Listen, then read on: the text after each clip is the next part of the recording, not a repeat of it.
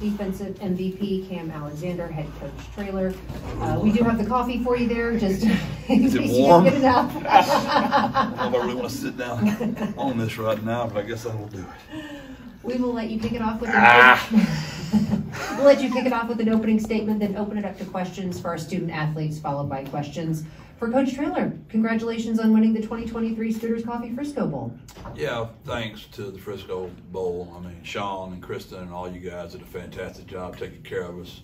Uh, we did a much better job coming back the second time around, uh, but y'all were great both times. So thank you there. Uh, got off to a rough start, you know, uh, through the two interceptions early. Our defense just kept us in it, and uh, we finally got going a little bit. I thought the play to Tykee was a huge play to get us started. An unbelievable throw and catch, and then, you know, coming back to Josh and him getting the long one in there. Doesn't surprise me. Those two seniors have been doing that all year. Obviously, the interception by Cam was big, but our defense just kept doing it all night. And as all year, our, our special team was fantastic. So it was, it was a, the epitome of our team, kind of. We haven't been just beautiful all year. We've just been kind of a gritty, try and lift up this kind of team. And uh, we got it done tonight. Really grateful for all those 18 seniors. And, and all the way back to the very beginning with Larry Coker and the original 18. And, uh, and for those guys to get to see us win our first bowl was, was huge. Alrighty, Carson has the microphone. If you just raise your hand, we'll get it over to you. I saw Alex over here in the front. From the reminder, just direct them to the student athletes that's first nice. so they can get going. Identify yourself, please, and we'll kick this off. Alex Blink, FI 360. Uh, Josh, after the first quarter, well, first quarter, you guys, offensively, there were some struggles, but what changed for you guys as an offense uh, after the first? Uh, really we we just stay locked in. Um, uh, of course, it's it's gonna be a little adversity. We just stay locked in, focus on the, the small details, and uh, and as you focus on the small thing, he always says uh, the big things take care of themselves. So uh, we we just stay focused on the details, and uh, we started to progress. And to contribute to that, Marshall did a great job. They've been a big middle open cover four team the entire year, and they came out, closed the middle on us, cover one, cover three. It took us a while to kind of settle into that, and once we got a little bit of beat on that, that helped us out too. So nice job to Marshall. Right here in the middle, on the right. Stephen Whitaker, birdsup.com. Josh, you were, I mean, Frank was your quarterback all year, and then he's out, and so Owen steps in. What were your thoughts on how Owen did tonight? And what did, did you and Frank say anything to each other before the game, or what was that like? Uh, no, we we just we always know like like next man up. Um, it's always expected for for the next man to be uh, just as ready as if he was the starter. Um, Owen started today. Uh, he did a great job. Stay positive uh, through all the adversity that we faced. Uh, great guy on and off the field. Uh, I, I believe in him so much. Um, uh, that's my dog. Yeah. In the back over here. To your left, in the corner.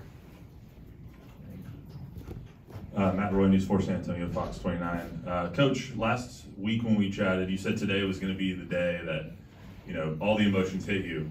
Now the game's over. You're dripping wet with coffee. What are the emotions that you're feeling? Yeah, it was the stretch line that got me. You know, I was very intentional with each one of those 18, and uh, I wanted to make sure they heard me one more time. And uh, once I got to the stretch line, it was a ball game, and I was ready to go. And I want to give a lot of credit to our team. We knew Frank wasn't going to play uh, for the last three and a half weeks, and uh, our team didn't tell a soul. And it was the best kept secret ever in the history of San Antonio, I would imagine.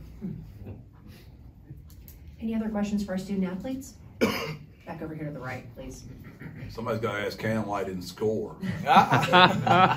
Greg Luca with the San Antonio Express News. Cam, I was not going to put you on the spot like that, but I will ask you, what was the key to the defense, uh, keeping Marshall off the board in the second half? What went well for you guys? Uh, I would just say it was us being mentally focused. Uh, I would say we had to uh, stay on our toes because it's, at the end of the day, they're still a good team. Um, really, just listening to the coaches and doing your job is really what got us a, a, a win today. We'll go back. Right. Carson, right over here again. Josh, your class talked a lot about wanting to get that first bowl win. How does it feel to sit here knowing that you've accomplished that? Man, it, it feels great. Uh, it feels great. It's another box check. Uh, whenever, whenever our class came in, the 2019 class, uh, we said we wanted to change uh, how people looked at UTSA. Uh, so the first thing was getting a ring. Uh, we got two of those. Then the next thing was winning a bowl game. You know, so uh, it, it feels great to check that off the list. Back over here, we're right over here. Right over here in the back to Don, right there. Hey Kim, you're one of those portal guys that comes to UTSA as a transfer this year, first year, your first team all conference. Um, a lot of portal guys in, in there now. Why did you come to UTSA, and what would you say to those guys that are in the portal that are considered UTSA? And hospitality. Um, when I came here on a visit, coaches showed me so much love, and why not come here? that was the question to myself, and I, I just made the decision. I was like, I'm gonna, I'm staying in Texas, so this is a perfect spot for me. Back to your left. Oh, I'll bite. Cam, why didn't you score? He's a great athlete too, with great hands. I thought he was going to score. I would say that they rallied to the sideline faster than I thought they would. Any other questions for our student athletes before we dismiss them? Two more in the front.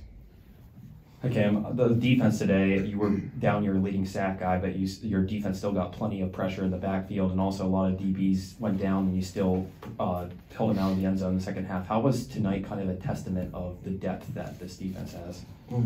I would say everybody just like Cephas said, the next man up, being ready to do your job and doing your one eleven. And I, I'd like to add to that. Like we, we play three deep all year long. Our kids, they're not selfish at all. They know they're sharing reps, uh, but we're really deep, and it's the only way we survived tonight. And I appreciate you noticing. We were we were running out of people uh, quickly, and uh, they just kept somebody else just kept coming in there. So great job. Josh, what are you gonna miss about being a road runner? Oh, man. Everything, honestly. Uh, my teammates, of course, uh, the coaching staff. Man, I, I feel like we, we have the best coaching staff in the nation. Uh, it's nobody it's nobody that cares about the players as much as Coach Taylor, um, as as much as our position coaches, uh, Coach Loepp, G Buck, um, Coach Price. You know what I'm saying? All the position coaches, um, they they show the most love that, that I've seen in, in college football. You know, uh, a lot of people see it as a business. I feel like the coaching staff here, uh, it- it's way more than a business. You know what I'm saying? Uh, it's it's a family as well, and and they care about your your well being outside of football. Uh, another saying that Coach Taylor has, man, I'm, I'm gonna miss his sayings too. I'm taking a lot of them with me, but um, another saying that he has is uh, his purpose is is to see how many men he can make out, out of how many boys come to him. So uh, he's done a great job of, of making men out of the boys that, that come to UTSA.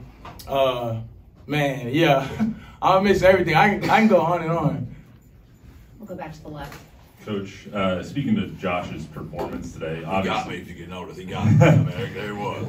I'm, I'm afraid this question might too. Uh, last year, obviously, Josh didn't get to play in your guys' bowl game for other reasons. Yep. Today, you see him perform like this, become the offensive MVP, and will your team to and help your team to a victory. What is what does that say about this young man next to you? It's, it's who he is. There's never a doubt. And and when you when you're in my chair, you got to make a lot of decisions. And, and, I'm smart enough to know when you make certain decisions, you're going to catch a lot of heat for making them. Uh, but I'll stand on Josh Cephas every single day of my life. Uh, the kid made a mistake. He's owned it. Uh, he's made everything right from it. He'll learn from his mistake. But the kid never takes a rep off. He never misses practice. He makes great grades. He's a wonderful human being. He's gritty. He's tough and you know he made a mistake. And uh, I can promise you, everybody in this room's made a mistake. Your mistake wasn't in public. You probably got lucky and it stayed in private. But we've all made them, and his just got to be in public. And uh, I, and anybody that walks out of here saying they hadn't, you know, they're probably not telling the truth to their own selves, and their day's probably coming. If there are no more questions for our student athletes, we'll say thank you, let you go celebrate with your teammates a little bit more. Coach Traylor will remain here and answer any questions you may have. We have, Jeff. For Jeff. oh, I'm sorry. Yeah. Yeah, you guys are good, yeah. Thank y'all so much. Thank you. Yeah. Congrats, Cam. Thank you, brother. Love you. Yeah. We want you to go celebrate. Congratulations, congratulations. Thank you, thank you. Back here in the middle, now all for you. JJ Perez, Inside Runner Sports. Jeff, why didn't uh, Frank give it a go today? He tried. I mean, uh, he just he wasn't getting any better, and um, you know the X-ray showed something, and he still wasn't getting better. So we wanted to get it looked at again, and the MRI showed something else, and that made sense.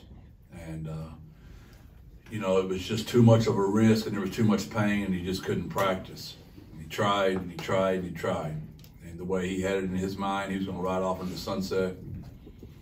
Anybody that has the audacity to even think that kid would have opted out or not played, it's just amazing that you've ever even watched the Roadrunners play one time in your life. So, shame on the few that had those thoughts that killed him. He called me today. He's like, Coach, can we go ahead and put the statement out? I'm like, I really don't want Marshall to know, Frank. Just hang in there. You know, ignore the ignore the noise, man. Those people, you know, it's just it's a shame. But those kids see all that stuff and it, and it bothers them because they're good people. And I hate that anybody would ever even think that. That's not the case. He could not play. He wanted to play more than life itself. He was on the sideline. He prepared Owen all week. He was very good role model for Owen. There's nothing more he could have done than he did. And he's as much the reason we won as anybody. That that grit of that team, that character being found 14 to nothing. I bet if all the Roadrunner fans were honest, a bunch of them would be probably ready to give up when it was 14 to nothing. Those kids just won't ever go away. Uh, we've all seen them do it for a long time now. That's because of Frank Harris and his comeback. What, what does it say about Owen to have that rough first quarter and really be able to rally that second quarter? Seemed like it was the turning point in this game. Yeah, ESPN asked me before the game, what did I know about Owen? And I literally said that. The kid's gritty. He's tough. How about the hits he took early? Gosh almighty. And he doesn't weigh but about 80. I mean, I, I was just knew he was out. And uh, we were fixing to put Eddie out there and ready to go. And he just kept getting up. And maybe maybe those hits are what knocked some of them silly decisions he was making out of him. And uh, once he got right, I mean, he and he's a way better athlete than people think he is. His escapability in the pocket was big tonight, and the plays he made on the run were big. And uh, he's a tough kid. He's a tough kid. Coach, your defense held Marshall after three quarters, one for 11 on third down. What was it about this defense that just bared down on third downs? Yeah, um, they believe in our in our culture, our pillars. They really do.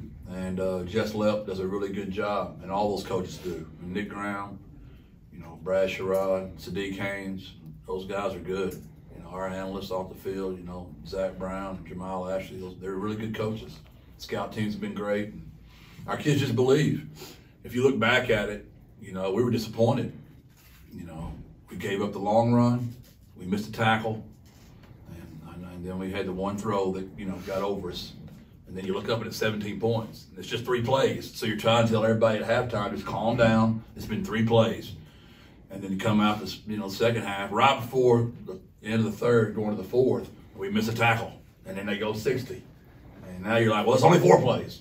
But heck, now we're about to get point 24, but we stopped them on that. And that was a big, big turning point in the game, I thought, uh, to get them stopped and that field goal. Coach, is this the most coffee you thought you've ever had in your life for one night? You know, I, have been lucky in my life because I've won a lot of big games, but my kids have always taken care of me, and they've never really gotten me before. But with because of the bowl, I agreed that I would take one for the team, but I've, I've got to talk to the Frisco Bowl. We got to look at maybe some warm, if the temperature is in the 40s, maybe some warm coffee. Uh, I got pneumonia tomorrow. I'm gonna be upset. Signing day. I'm in the hospital, so I wish I could have seen Dr. Campos's face when I said crack while ago in the field. it looked like when she interviewed me four years ago. It was the same face of just terror. Like, what am I getting myself into hiring this man? Coach Carter Yates with Dave Campbell's Texas Football. You coached Owen's uh, father and his uncles at Jacksonville High School. In what ways does Owen remind you maybe of them? Here we go. Now we're going to talk about how old I am as well. Uh, yes, that is correct. Actually, Devin McCuin's parents as well, and Chris Carpenter's. So, uh, you know, the McCollins, they're, they're, they're raised in the country. Uh, they were raised on a farm. Uh, you know, their father, Pat, and those people were raised tough. And they're just tough people they're they're they're honorable people. They're good people, and that's who they are in the core. They're fiber, and uh, that's who he was tonight. It does not surprise me. That's just you meet a McCown. That's what you're getting. Coach, what does it do for the team going forward to know that y'all were able to get the bowl win tonight without cornerstones like Frank and Rashad? Well, it's a sad day because I'm going to miss those kids, but there's a part of them that will never ever be gone. we're just different now. You know, we're just different. We're built different. We're built to last. And it's because of those 18 seniors. Obviously, you mentioned Frank and Rashad, so that's how I answer the question. But there's so many of them. You know, T. Haynes at left guard, Ernesto at right tackle, B. Matt, you know, T. Bell, Rashad Wisdom, just Lucas Dean. How about that punter we're going to miss for the last four years? But their core is still here. If we can keep this team together, and, and the game of football has changed so much. Like Cam, we got him for not a dime, like nothing. He's first team all conference. I mean, our collectives are going to have to do something right, and we need people to contribute. And I know y'all are tired of hearing it, but they're not going to stay because they love Coach Traylor much more. That we got to help them a little bit. And none of our kids ask for a lot. They really don't ask for a lot. They'd like to have a car and maybe some insurance and a cell phone. If we can do that, we'll win a lot of football games in UTSA for a long time. If we don't, I mean, JJ can be writing bad articles about what a bad recruiter I am, uh, and all these guys get in the portal, uh, and it's going to be sad for me because I don't get to have any more of that coffee running down my crack anymore. Over here to the left, please.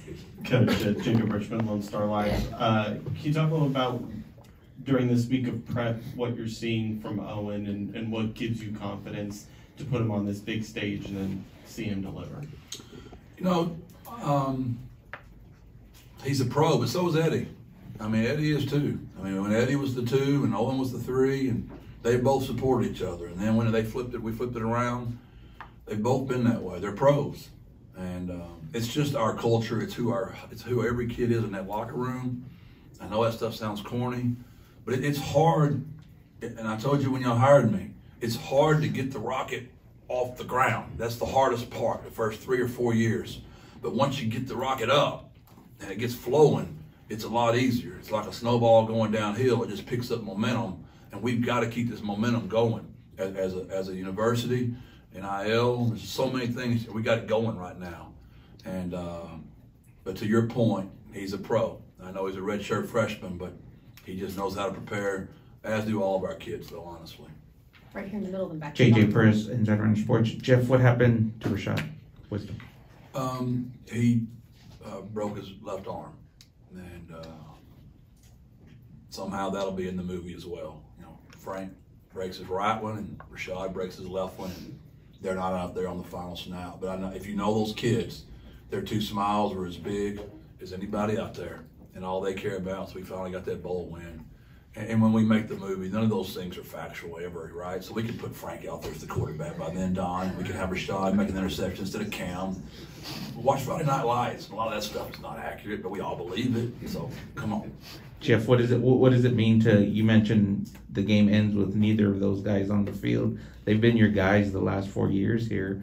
Did do they leave something behind? There's no doubt. And we talked about that all week. Those guys will never leave because there's a piece of their fiber out there. What they've taught all those young kids. Uh, we'll we'll be here many more times together, and uh, because of the fiber those kids left behind, the triangle of toughness, and they really believe in that. Jeff, Owen's best throw might have been the touchdown that was called back from ineligible uh, man downfield. And then the very next play, your whole offense seemed to be angered by that and determined to get right back in the end zone on the next play. Um, the will of Owen leading that offense, that team, and also I just wanted to give you an opportunity to talk about that call. Yeah, uh, you know, I agree. Uh, we're a stubborn group. We're just stubborn. We just don't go away. And uh, I'm sure my mother is probably hearing this right now, and she's saying right now, I know where that comes from. My mom was just stubborn as hell, and I am too. And my kids just, you know, I know I look like I'm calm as heck over there most of the time, but my insides are burning. But I want my kids to always stay calm. And uh, I could tell that call there really got them aroused, to be honest with you. It was a very late call, uh, but they swear they got it right. So I'll trust them because I sure don't want to get fined and give my bowl bonus away just by talking about some officials. Coach, uh, Kurt, back here in, on your left. Correct me if I'm wrong. To me, it felt like the turning point in the game was the 41 yarder to Tykee uh, from Owen after the first five drives went punt, interception, punt, interception, punt. And this, it was third and 14, and he laces one to Tykee. uh, to get it down to the three yard line, and then Robert Henry punches it in from there. Do you think that was the turning point for your offense? Was that 41 yard game? Yeah, I think got us some confidence. There's no doubt. But I also think later on in the game we got a third and like 12 or 13, and Josh broke a couple of tackles. There was a, there was a bunch of plays in the game. I think that's what got us going though. But you know, you know, it's the great thing about not having to call every play. You just call some of them. When you're the head coach, you can be a smart aleck all the time. But I tell them all the time, you can't score if you don't try. Hell, we ain't throwing the ball down the field. I mean, let's throw it down there see what happens. What do you know? Throw one down there, Tykee makes the play of the game. All of a sudden, we're smart coaches. No, we should have been doing it earlier. One more question in the front here. And then that looks like it's a wrap after this one.